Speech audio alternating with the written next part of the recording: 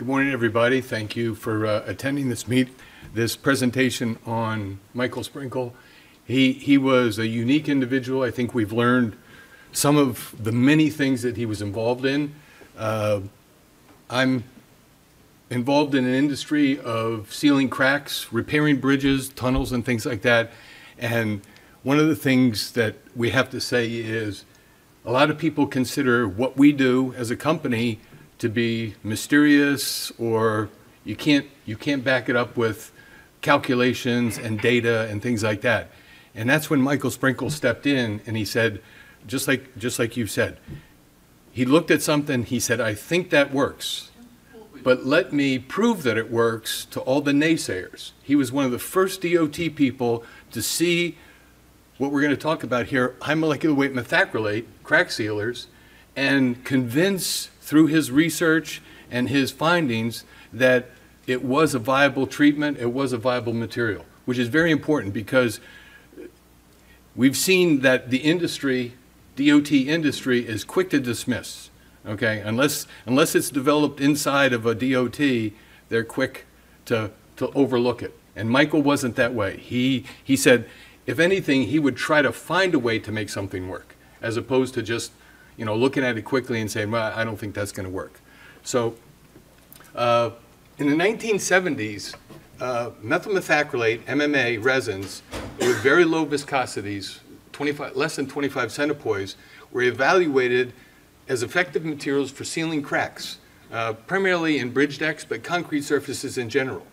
Uh, the evaluation goals, they wanted to determine minimum crack width that it could penetrate, uh, what bond strength the cured MMA would obtain once it was in the cracks and cured, uh, would the MMA restore any of the initial strength of the structure that was treated? Um, what method of application would achieve the best results? And that's important because where this all started out in the, in the late 70s is 180 degrees from where we are today. Uh, and what are the safety concerns with field applications? 1970s, Brookhaven National Laboratories in Brookhaven, New York, worked on the development of a method of applying polymer impregnated materials to bridge decks. Uh, polymer impregnation is a process where you, you actually apply a polymer to the surface of a bridge and you cure it with heat. And hopefully it will sink into the bridge, cure, and seal the pores and seal the cracks in the bridge deck. Um, in this case, what they did is the decks were dried for an extended period of time, up to six days, to get the moisture out of the decks. What they did is installed kerosene heaters below the deck and heated the deck to 300 degrees Fahrenheit um, for up to six days to get the, drive the moisture out. Okay, allow the concrete to cool down to 100 degrees, which sometimes took a day or two. So now, now we're into, we're into, before we've applied anything, we're over a week into the application, okay?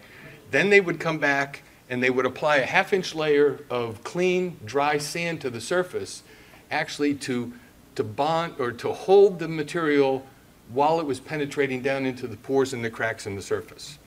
Um, apply the MMA resin on top of the surface, reapply the heaters, and apply the heat until the MMA was cured. One thing that I didn't put here because I just didn't think it looked good is the second bridge that this was applied to, the bridge caught on fire. Uh, that's not contained in any of the reports that I found for Brookhaven National Laboratories. Yes, but uh, that was something that if you were involved in the industry at the time, you knew that it caught on fire. Uh, so, but the, in this case, the MMA resin successfully penetrated the sand and sealed the concrete surface. The problem was the MMA um, didn't get great penetration into the cracks. They, were, they got about a half an inch maximum, okay? Um, the other thing was the, because the viscosity is so low, if there was any kind of cross slope or super elevation to the bridge, the MMA went to the low side of the bridge. So it was very inconsistent. You've got a lot of material on the the downside of the slope, and you got you starved it for material on the high side of the slope. Um, The other issue, like I said, with fire is MMA resins have a flash point of 50 degrees Fahrenheit. Uh, when you're using kerosene heaters to heat it, to cure it, um, that's a very, very big issue. Um, so it, it, was determined that this method wasn't going to work, not in the field with, with the way things happen in the field. If Michael looked at this and said, this technology is not going to work, we, I wouldn't be standing here today, okay? But he didn't. He looked at it and he said, let's figure out what, what we have to do to make this work. In 1980, 1980s, Rohm and Haas developed a new resin called high molecular weight methacrylate. And some of the advantage of the HMWM, which is very hard to say for some people, uh, they both ex exhibited very similar viscosities, 10 to 25 centipoise. Okay? The HMWM did not use heat to cure. It was cured with an initiator, cobalt naphthenate, and a promoter, cumene hydrogen peroxide. Um, no heat curing required. The gel time with the HMWM could be extended. Extended gel time and reduced viscosity increase equates to greater penetration, both in pores and in cracks. Um, and the flash point was over 200 degrees Fahrenheit. So the problem of catching bridges on fires was solved. Okay.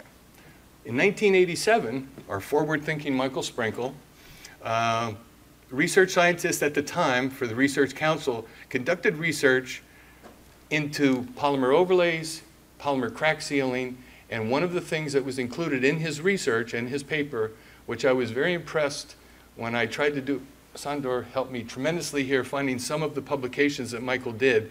And you'd never know it in talking to him and knowing him personally, but he was very prolific in, in writing things and doing research.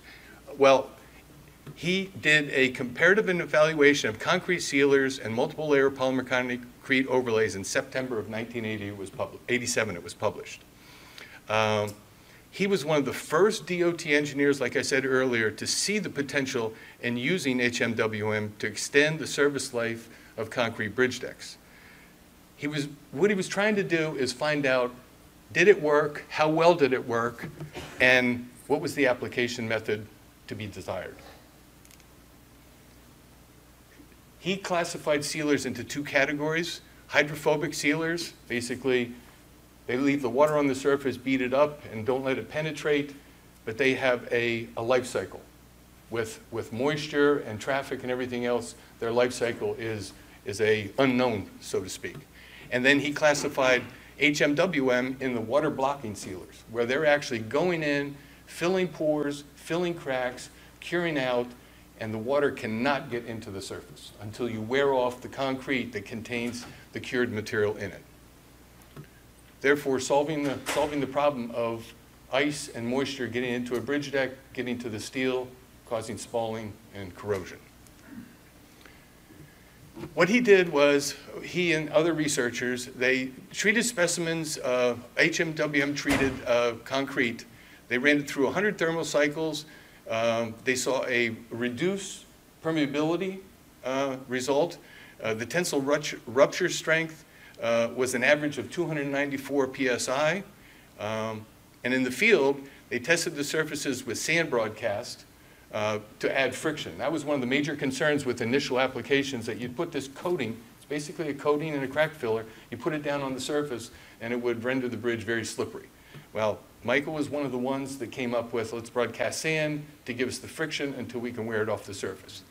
He even developed a test method that's used today, which is called the Virginia penetration test method, and it's very simple, like Mike was very simple at times. You take a coffee cup, you fill it with sand, you pour HMWM on top of the sand, and it's supposed to go all the way to the bottom of the cup to show that it can penetrate. And it's specified in many manufacturers and many DOTs specify that test procedure. Very simple, but it works. He, had very, he tested various HMWM manufacturers, um, and as a result of his work and some of the things that have happened in the meantime, we now have different types of materials for different applications and different types of application methods.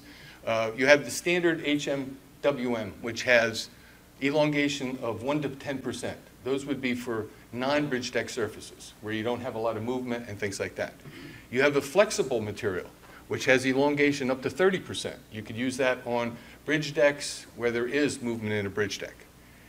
There's HMWM for very, very low pressure injection. We're talking injection with hand cartridges for treating individual cracks as opposed to epoxy injection, which is time consuming, expensive, and also there's a chance because of the pressure, you could exacerbate the situation by blowing delaminated concrete off of a bridge deck surface.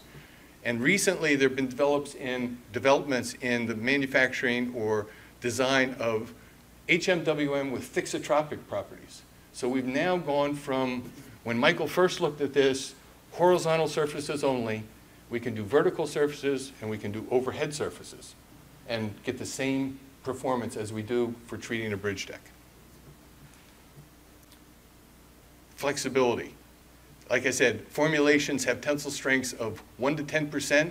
These are for dormant cracks. These are plastic shrinkage cracks, you know, small, small cracks that are not moving around. And then, as you see in this culvert here, uh, they treated the base of the culvert to get to prevent moisture from coming up from the ground into the culvert and causing corrosion.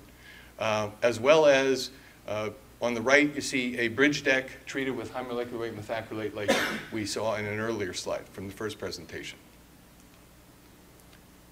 Flood coating, I, I think that picture on the left might actually be Virginia. Uh, flood coating and a broadcast of sand on the surface. Methylmethacrylate, this is for the low pressure injection that I spoke about. Same basic technique, except instead of using injection equipment, using a caulking gun, a two component caulking gun. Very, very high penetration. You can get penetration uh, of a foot, two foot, three feet. If you're in a foundation, you can get penetration of three feet into a crack. Uh, very successful. The thixotropic, this is a perfect example on the left-hand side here where it's a thixotropic high molecular weight methacrylate applied to a bridge abutment that is completely deteriorated because of de-icing chemicals and freeze thaw. And in this case, the state is saying, all we want to do is seal it off so we can get a little bit more time out of it. Two years, three years, five years. So it's a very inexpensive way of treating uh, damaged or faulty concrete. Put it on with rollers or brushes. Gravity fed, as we said, you see, here's an application of a gravity fed uh, surface, and on the right hand side, we put fluorescent materials into it to see how it penetrated down into the, into the concrete. You can actually see it penetrate into cracks that you didn't see before you applied the material. This is the injection. It's a little hard to see, but on the right-hand side here, you can see these, these cylinders are approximately 12 inches long, and we got penetration almost to the bottom of the cylinder. It all depends on how wide the crack is and um, how much dirt and, and other foreign objects are in the crack. Um, thixotropic formula, this is vertical. These, these bridge piers have been 100% coated with a thixotropic material to prevent corrosion uh, from environment, from salt, uh, from the water. And you see the penetration again. It follows the crack. So in conclusion, original developed uh, crack sealing concrete bridge decks was to extend the service life of deteriorating bridges. However, manufacturers have developed different various formulations enabling applications for horizontal, vertical, and overhead surfaces. Uh, effects, effectively seals cracks and surface porosity, prohibits the intrusion of moisture, and contaminates that lead, that should be lead, that has, leads to the the use of, um, of this chemistry by DOTs. So Michael was one of the first ones that said, I want to look at it, I want to prove that it's working to himself and to the Virginia DOT, and other DOTs said, if Mike Sprinkle thinks it's okay, it's okay. I want to thank you for that, for this opportunity.